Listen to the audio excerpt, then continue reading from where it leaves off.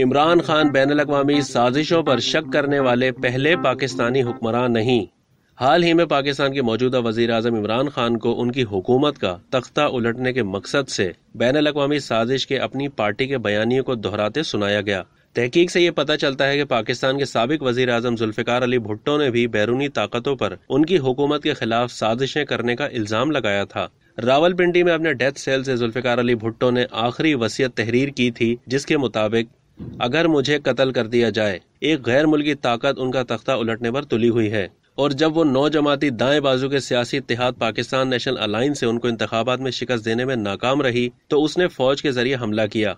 भुट्टो ने अपनी किताब में यह बात कही थी कि जर्नेलों ने जुलाई 1977 में हमला करने से बहुत पहले अपनी चालें शुरू कर दी थी। उन्होंने अपनी सवान उम्री में इंकशाफ किया था कि उनकी साजिश मार्च 1977 के इंतबात से पहले शुरू हो गई थी। और फौज और पीएनए और इन दोनों और एक गैर मुल्की ताकत या ताकतों के दरमियान एक माहे के नतीजे में बगावत आहिस्ता आहिस्ता परवान चढ़ी। उन्होंने इंकशाफ किया था कि गैर मुल्की सतह पर डील ये थी कि पीएनए को इलेक्शन जीतने पर 30 करोड़ रुपए मिलेंगे। और अगर ये नाकाम हो गई तो बगावत की कोशिश में फौज की हिमायत की जाएगी। भुट्टो के मुताबिक इसके बदले में पाकिस्तान के नए हुक्मरान न्यूक्लियर रीप्रोसेसिंग प्लांट को छोड़ देंगे, जिस पर उन्होंने फ्रांस के साथ बातचीत की थी।